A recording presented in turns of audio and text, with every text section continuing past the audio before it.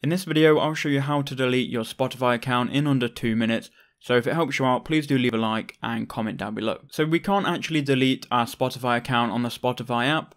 Instead, you need to open up a web browser. I'm going to open up Chrome, and you need to go to spotify.com and log into your account on the Spotify website.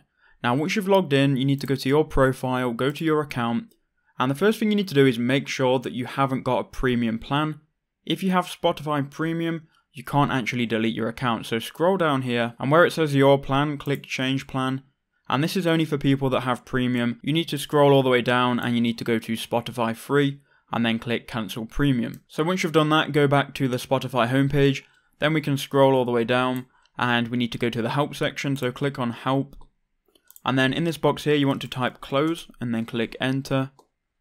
And you should see here close your account. So we can click on that once you're on this window, you need to play this video and just go to like the 40th second. And then you should have a pop-up which says click here to go to the contact form. Click on that, it's going to take you to the contact form. And here you want to go to account. I want to close my account. And then you would need to write to Spotify saying, I don't want to use Spotify anymore, I want to close my account. And then in a couple of days, Spotify will then get back to you and they will permanently close your account. So you will click contact to close and then this is the box you would fill out.